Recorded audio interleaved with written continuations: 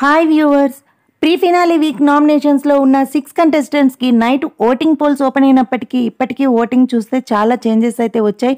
So ఇప్పటి వరకు పోలైన ఓటింగ్ను బట్టి ఎవరు ఏ పొజిషన్లో ఉన్నారో ఈ వీడియోలో చూసేద్దాం. ఇనాయాకి ఫేక్ ఓటింగ్ జరుగుతుంది. అనఫిషియల్ పోల్స్లో ఇనాయా ఓటింగ్ని తప్పుతో పట్టించడానికి పీఆర్ టీమ్స్ ప్రయత్నిస్తున్నాయని తెలుస్తుంది కాబట్టి ప్రతి ఒక్క కంటెస్టెంట్కి ఈ వీక్ ఓటింగ్ చాలా ఇంపార్టెంట్. సో మీరు అఫీషియల్గా తప్పకుండా ఓట్ చేయండి.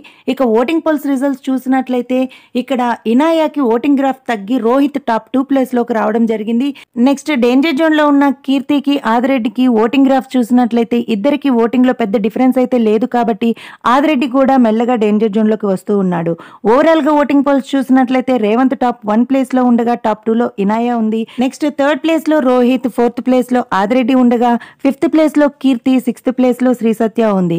ఇక ఓటింగ్ పోల్స్ చూసినట్లయితే మెల్లగా ఇనాయా గ్రాఫ్ తగ్గుతూ ఉంది రోహిత్కి గ్రాఫ్ పెరుగుతూ ఉంది. అయితే వీరిద్దరూ కూడా అఫీషియల్ ఓటింగ్ ప్రకారం డేంజర్ జోన్ జోన్లో ఉన్నారని తెలుస్తుంది కాబట్టి మీ ఫేవరెట్ కంటెస్టెంట్కి తప్పకుండా అఫీషియల్గా ఓట్ చేయండి.